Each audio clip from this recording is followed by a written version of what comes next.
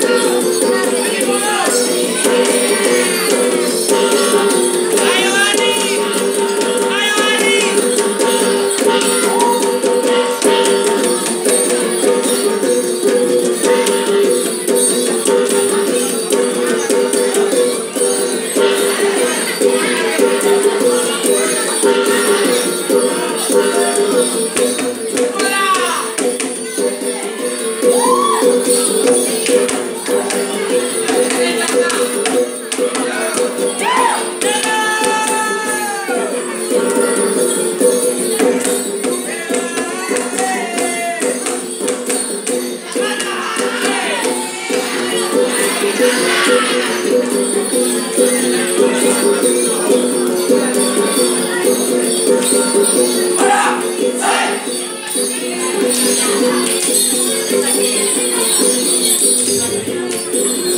Arjuna dia kaya dengan kreativitas. Mana pekelak ini sempat? Aduh, masa di belakang dia, dia tidak pekelak ini? Enak, pekelak dulu itu! Ah, ini. Ternyata hasil latihan sore hari itu benar-benar efektif dan ada bukti. Bahkan kamu luar biasa.